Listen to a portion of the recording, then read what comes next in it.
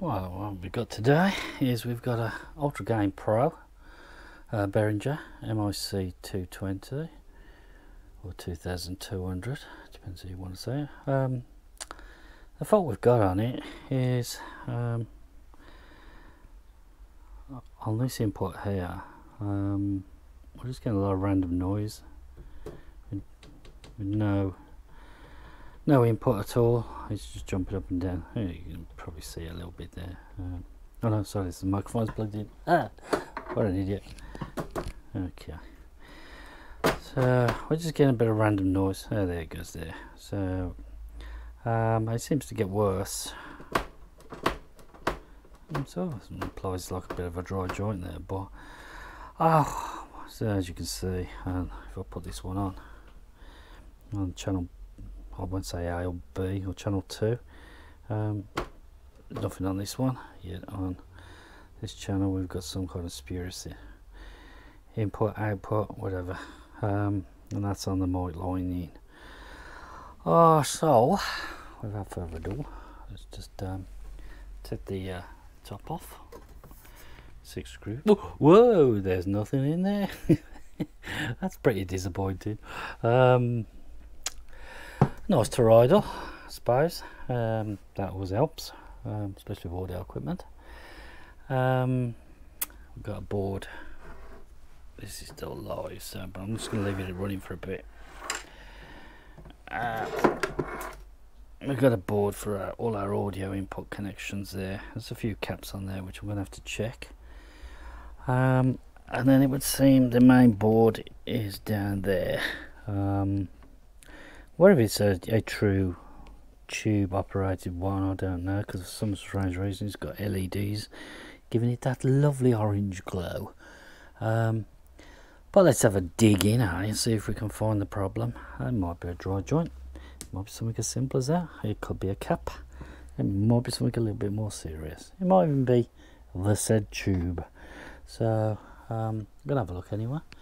Whether somebody's been in here before me, I don't know. It looks a bit taped up. Not sure if it's supposed to look like that. Um, these haven't been disconnected by the look of it. Um, there's a little bit of heat coming off the back of that, so could well be a tube, I suppose. What the uh, the need for the LEDs, I do not know. Let's just flick him around to there. Just show you from the front view there. Um, but yeah, the, the noise is still there anyway. So let's see if we can find that one. Um, and I'll uh, I'll strip the front off and we'll have a quick look. Okay, we've taken the, uh, basically this front piece just one clipped, um, simple enough. Just three screws holding it onto the base there.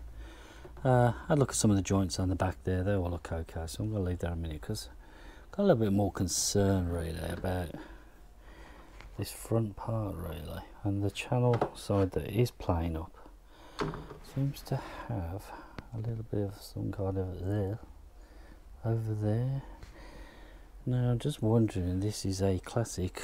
Oh spilled some Coca-Cola in there. Um, seems to be common with audio equipment that uh, fizzy drinks and DJs don't mix well they do.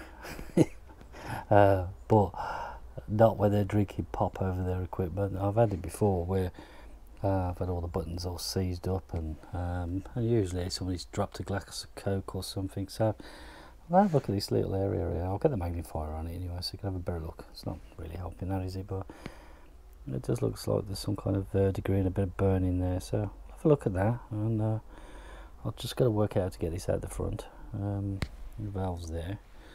Uh, I might change the valve just as a matter of course. I don't know what the lifetime of it is but I might have a look at that anyway.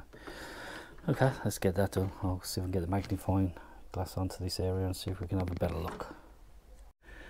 Right, I think what we'll do is we'll get a little bit of the, uh, the good stuff. It's the propanol. And uh, I think we'll have a go at see if we can just soften this area up a bit. See if it's going to come off. I've tried scraping it a little bit. Um, it does seem to be doing something to it, so we'll give it a little bit of a dab and just see if it breaks it down it could be could be a manufacturing glue.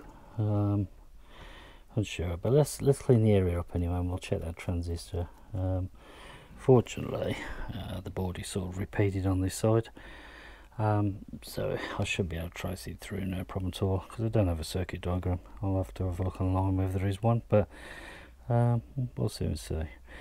Let's just keep dabbing this down with a bit of isopropanol um, and see if we can just soften up whatever it is.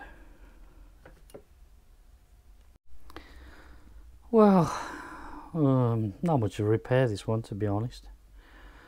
Um, seem to have got it sorted. Um, all I basically did, um, as everybody should do, before you jump in too deep, is uh, wiped over all the solder joints, um, which is always a good thing to do. These XLR connectors um, and the quarter jacks, because they're quite large uh, pins on them um, they do take a bit of abuse so you can get um, dry joints on those. So I've done that.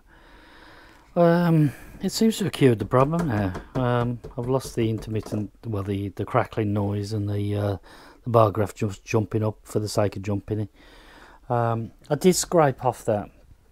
If I can, uh, if I can show you that. Let me just unplug this. Um, bear with me a second um, I managed to scrape off that horrible mess that was down there. Um, I think it was just gone off glue to be honest. Um, it, there does seem to be a few extra traces of it here and there, but um, there's some on the actual retaining screws there. So I scraped it off, cleaned it. I couldn't see any um, issues with the components underneath. So I do think that was um, purely um, just just um, just the old glue had gone hard sort of thing. So, but I've cleaned it off anyway. I've um, resoldered the XLR connectors and the quarter jacks back onto the PCB. I did change that cap there. It was a 47 microfarad, um, 25 volt. Um, it seems to be a coupling capacitor um, for audio. So, um, but it, it, it, when I tested it on the uh, the meter, um, it read okay anyway so but I just changed it anyway as a matter of uh, so 45 microfarads here so it doesn't seem to be too much wrong with that.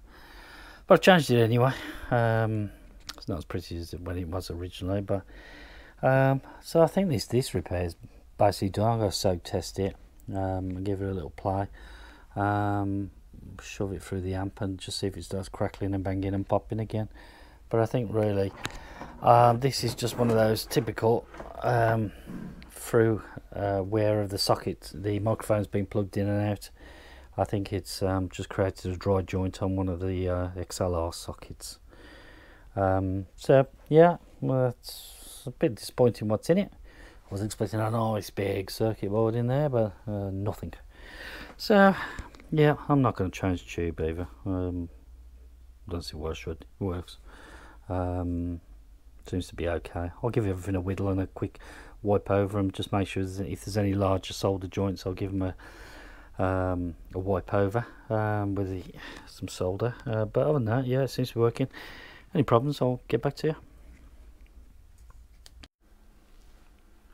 Well, I've soak tested it for uh, quite some time now, and it seems to be working, um, both sides. So that side was working okay on uh, channel 2. Channel 1 had the issue, whereas these were just fluctuating, bouncing around wherever they felt like doing.